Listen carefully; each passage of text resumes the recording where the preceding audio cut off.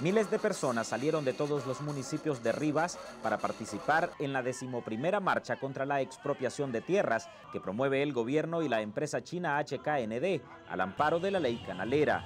¿Por qué hiciste, Daniel, esto? Vendernos a nosotros, viola la isla, porque para allá lo mandaste, porque dicen que le gustó la isla, para sacarnos a nosotros, pero estamos dispuestos, estamos dispuestos, Daniel, a no salir de nuestra isla, porque la isla es de nosotros, Dios nos regaló la isla a nosotros, no vamos a salir. Hermanos, y hoy nos toca a nosotros empuñar ese espíritu de valentía para defender a Nicaragua, defender la democracia, defender la soberanía de esos invasores, de ese imperio que quiere imponerlos Ortega el Vendepatria. Los marchistas se concentraron en la rotonda de Rivas y recorrieron unos dos kilómetros por las principales calles de la ciudad, pasando por el mercado municipal para terminar a unas cuadras del Parque Central. Hoy aquí decimos presente a Nicaragua, no a la contaminación del lago. Hoy estamos aquí diciéndole a Ortega, fuera Ortega, fuera Vendepatria. Los van a, a sacar de nuestras tierras y nos van a pagar a precio de catastro. Pero yo ni vendo, ni fío, ni nada, ni regalo tampoco. Los ciudadanos cuyas tierras están bajo amenaza de expropiación, en su mayoría se definen como militantes del partido Frente Sandinista. Nos traicionó. El voto de nosotros nos traicionó con la vendida de Nicaragua. Nos vendió las tierras y nos vendió a nosotros como unos animales, porque no tenemos, no vamos a tener para dónde irnos. Como unos esclavos nos está vendiendo a los chinos han venido a entorpecer nuestra felicidad que tenemos nosotros los isleños, porque en la isla de Yometepe nunca se ha dado eso. Y yo he dicho, la isla de Yometepe la amo como mi segunda madre.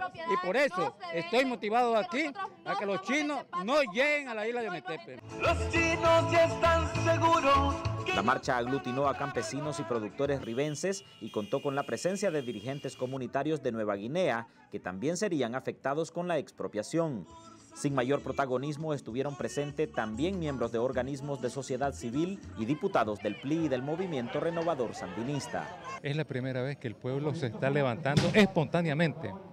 Las protestas en Toledo, las protestas en Tola, las protestas en Potosí, las protestas en Buenos Aires, las protestas en Rivas, en San Miguelito, en La Guinea, en El Almendro, en La Fonseca, todas esas protestas no están organizadas por partidos políticos. Es la gente que ya se dio cuenta de que si no se, no se ponen las pilas y defienden sus tierras, van a dejar a sus hijos, a sus nietos en la pobreza más absoluta.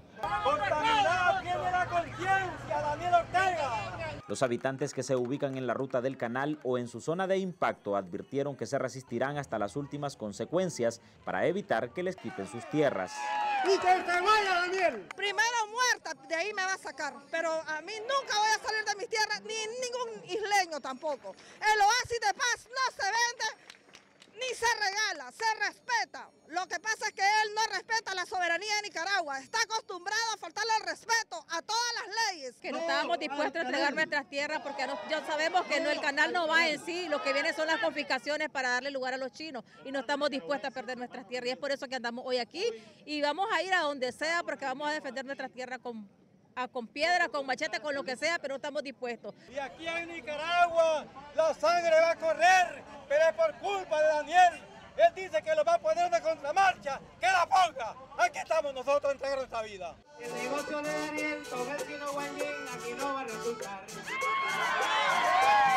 En la manifestación quedó convocada una marcha nacional contra la expropiación para el próximo 10 de diciembre en Managua, donde se sumarían los campesinos de Nueva Guinea, San Miguelito, El Almendro y Rivas.